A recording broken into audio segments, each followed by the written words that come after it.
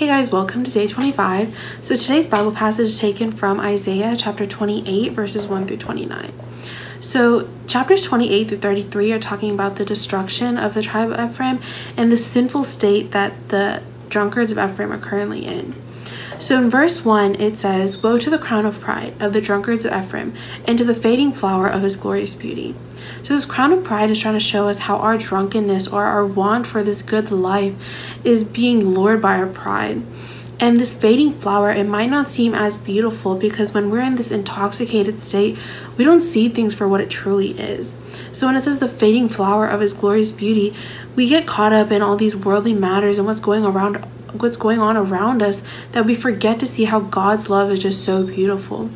And so some things that we may get caught up in are social media or even certain relationships.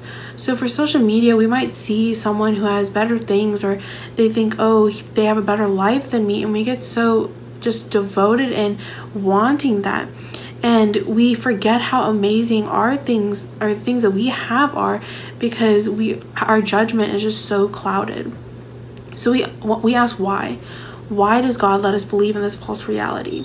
In verse 5, it says, In that day, the Lord of hosts will be for a crown of glory, and a diadem of beauty to the remnant of his people, for a spirit of justice to him who sits in judgment, and for strength to those who turn back the battle at the gate. When we see this false reality of our sins, we tend to become discouraged or even depressed. But even if we feel like we've lost hope in ourselves, we have to remember that God always has hope in us. And the way for us to be able to receive hope through Him is by listening to His messages and see what God truly has planned for us. And no one said it was going to be easy because it will be hard to see what God's message truly is. And it will be hard because we might not understand when God's trying to send you a message, but we have to understand that God won't stop until we have listened and figured out what his plan is for us. In verse 21, it shows us that there's no point in trying to put different obstacles in between our relationship with God because God will find a way to overcome all of these obstacles that you've put so that we can have a relationship with Him. lastly, in verse 29, it says, the Lord of hosts, who is wonderful in counsel and excellent in guidance. It reminds us of the perfect time and wisdom of God's work in our lives. God never puts anything in our path that we aren't able to overcome.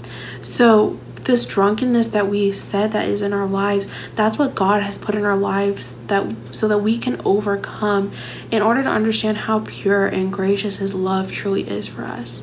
So i hope y'all have a wonderful and blessed rest of your week